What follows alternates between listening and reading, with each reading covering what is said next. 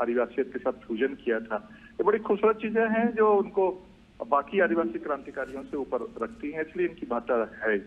एक चीज़ और कि वीर बुद्धू भगत का भी बहुत बड़ा योगदान है समाज में। किस तरीके से उनका जो कुछ चीज़ें बलिदान है वो है। ठीक कहा। ये अठारह सौ इकतीस बत्तीस के कोल रिवोल्ट पे जैसे झा ने काम किया लेकिन खूबसूरती या महत्ता ये है कि पूरी दुनिया के आज़ादी की लड़ाई में जिस ढंग से शहादत वीर बुद्धू भगत के एक परिवार ने दी, डेढ़ सौ से दो सौ लोग शहीद हुए। 1832 में उनके गाँव को घेर लिया अंग्रेज़ों ने कैप्टन ने तोप के साथ। और एक एक लोगों ने पहले अपनी शहादत दे दी, उनके भाई, भतीजे, उनके तीन बेटे, उदयकरण हलदर गिरधर उनकी बेटियाँ फुलिया झुनिया तो ऐसे सारे भाइयों ने, भतीजों ने, बेटों ने, बेटियों ने जो शहादत दी तब वो वीर बुद्धू भगत के पास पहुँच सका और उनका सर काट के पिठोरिया ने बिल्किसन के पास ले गया। तो पूरी दुनिया के इतिहास में एक दिन आज़ादी की लड़ाई में प्राण उत्सर्ग करने वाले डेढ़ सौ से दो सौ एक परिवार के लोग आपको नहीं मिलेंगे जो इस शहादत में है।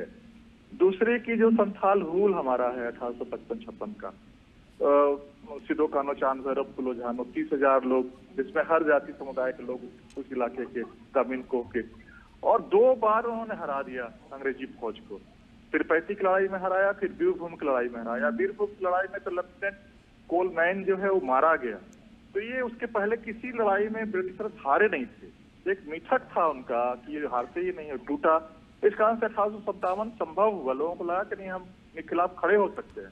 तो अठारह की लड़ाई के लिए अठारह पचपन, छप्पन का संताल हुल होना ज़रूरी था।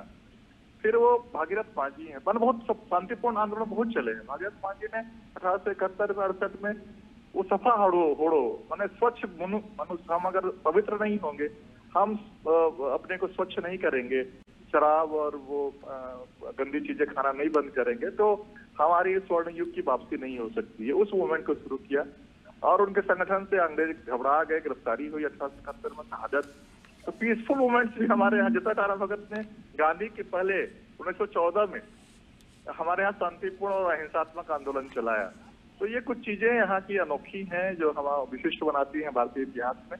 इसे रेखांकित किया जाना चाहिए। तो इसे रेखांकित किया जाना चाहिए और भगवान बिरसा मुंडा का जो जन्मदिन है उसे जनजातीय गौरव दिवस के रूप में घोषित करके केंद्र सरकार ने उस जो भूले हुए पहलू थे उसे उन्होंने एक मंच दिया है और लोग उसके बारे में जानने लगे हैं। जी।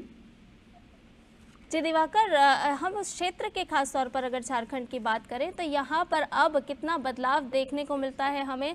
जिस तरह से ये जो समुदाय है वो किस तरह से अब आगे बढ़ रहा है और देश में अब अपने योगदान में अहम भूमिका निभा रहा है?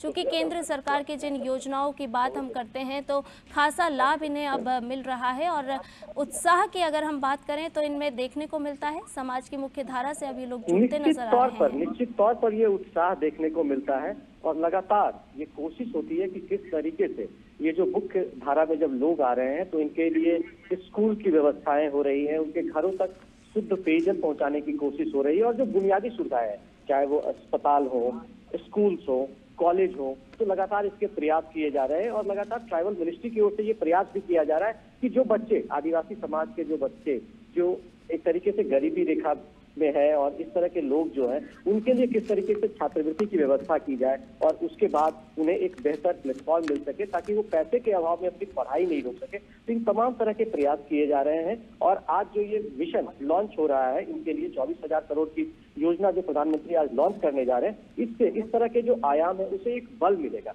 और लगातार ये कोशिश हो रही है कि मुख्य धारा में जनजातीय समाज के लोगों को लाया जाए और इसके लिए ये प्रयास भी हो रहा है कि किस तरीके से जो विकास की किरण है इनके घरों तक पहुँचाने जाए, इनके मोहल्ले तक पहुँचाया जाए। और जो झारखंड के लगभग दो तिहाई ज़िले हैं, वो जनजातीय बहुल ज़िले हैं, करीब 28 परसेंट की आबादी जो है वो जनजातीय समाज की आबादी है।